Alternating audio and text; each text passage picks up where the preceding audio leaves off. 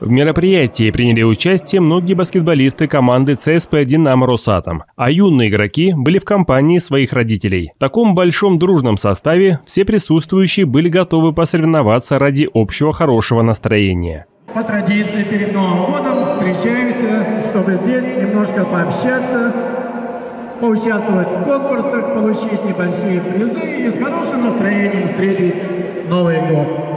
Эстафеты, конкурсы для мам и пап и дружеский баскетбольный матч между детьми и взрослыми. Традиционная программа – это ежегодные спартакиады. Несмотря на то, что конкурсы шуточные и несложные, накал страстей порой достигал высокого градуса. Перевести всю команду на ту сторону, таким образом. Мяч держим одной рукой, вдвоем. Проходит мероприятие всегда весело, с энтузиазмом занимаются дети, родители с удовольствием принимают участие. А, также у нас тут есть и сладкий стол. Э, после соревнований дети все подкрепятся, довольные. Пытаемся здесь так э, создать атмосферу такой баскетбольной большой семьи.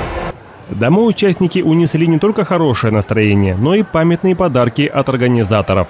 Олег Соловьев, Владислав Полоскин, Александр Ерофеев, Десна ТВ.